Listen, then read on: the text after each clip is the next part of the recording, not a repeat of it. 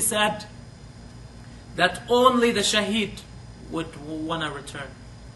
Not for the pleasures of this dunya, not for the emptiness and the fakeness of this dunya, but he would want to return to perform the shahada again. To die, or to fight, or to defend, or to spread the kalima of La ilaha illallah. That's why the shaheed would want to return. And, and uh, he, he would want to feel that. He would want to have the honor again and again. Because the person who does the good deeds for the sake of Allah never regrets. You never regret what is good. You regret what is bad. You regret what is evil. But the, the person who does the good deed with the pure intention, this person has no regret. He never regrets. Not in this dunya and not in the hereafter. And the bad Muslim in the grave, and when I say bad Muslim, what do I mean? I mean the person who died without repenting. He may have committed major sins and he didn't repent. He didn't repent. As for the person who repented, who made tawbah, sincere tawbah to Allah, and that person died, التائب من الذنب كمن لا ذنب له, which means the person who repented from the sin, it's as if he has no sin at all. He, it's as if he doesn't have a sin. So suppose a person uh, did many bad things and he repented before he died, and then he died. W- Just because we know of him bad, that he did bad sins, it doesn't mean he's a, he died as a bad Muslim. If he died as a repent, uh, as a repentant Muslim, then mashallah, tabarakallah, hani'an lahu, um, a great merit to him. Congratulations, we, we tell him congratulations. We don't cry for him, we're happy for him. Because he left this world in a repentant, in a, in, in, a good state. But the person who died as a bad Muslim, even if he missed one prayer, intentionally, if he missed one prayer, or he drank alcohol, or he did something haram, uh, that person, uh, he's under the mercy of Allah. If, if uh, for some bad Muslims, they will get torture in the grave. And so, some bad Muslims, Allah would forgive them in the grave. And it is stated that Uthman used to go, Uthman ibn Affan radiallahu anhu, he used to go to the graves. And when, when, when he went to the graves, he would cry so much while, when he remembered the death and the state of the hereafter and the importance of life and the importance of our journey in this life to be obedient to Allah despite the obstacles that hit us, despite the distractions that tell us to fall into haram and to give up. The person who's patient and who perseveres, he's the total winner. Uthman radiallahu anhu would cry until his beard was wet. I've never seen that in my life.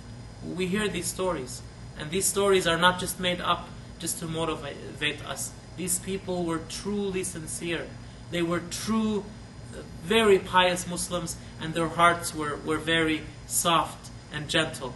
And it was said he would cry until his beard became wet, became damp.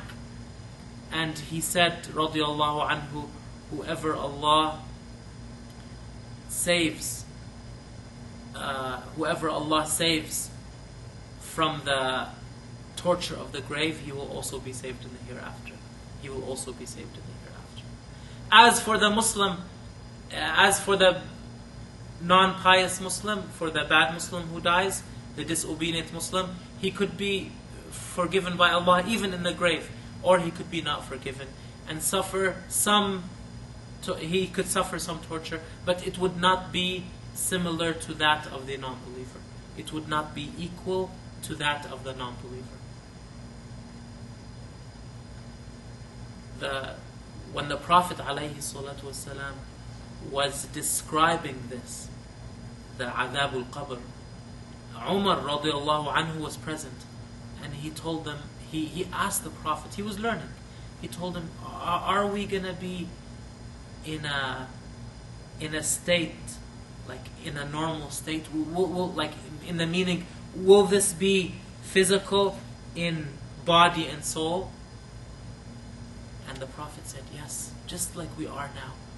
And when Umar heard that, he was amazed. He was amazed. He was amazed when he heard that.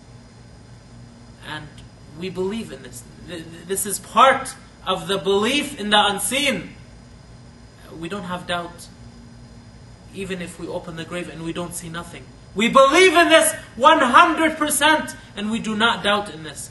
Our heart pumps and makes noises and our blood moves throughout our body. And Allah did not will for us to hear it. Allah did not will for us to hear it. The sun from a far distance away benefits the earth in a way that we know and we see and, and is so apparent. How does this happen? Allah knows. Allah is the one who made these things happen.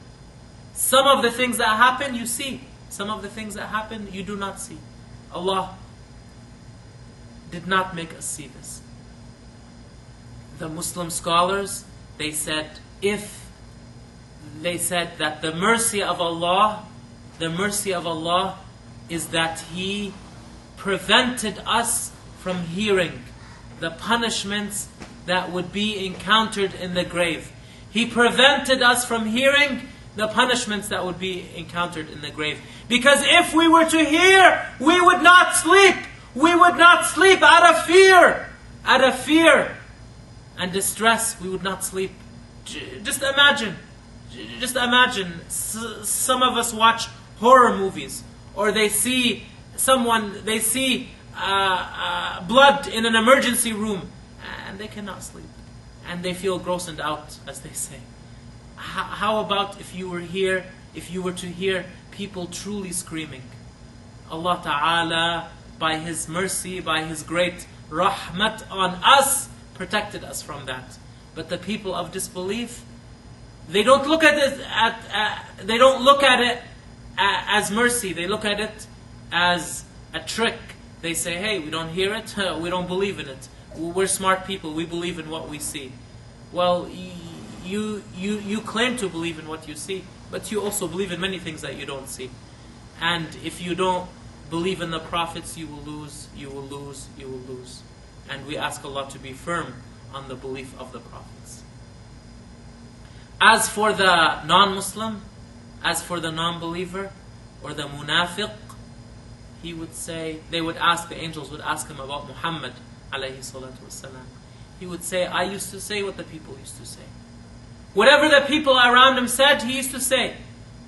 He didn't have a belief, he, he didn't have trust and belief in the words that were that, that, that were given to him about Prophet Muhammad, whether it was from the Prophet himself, alayhi salatu wasalam, or through his companions, or through their students, or through their students, or even today, through the chain that it reached us today. He didn't believe in those people. He just repeated what he said.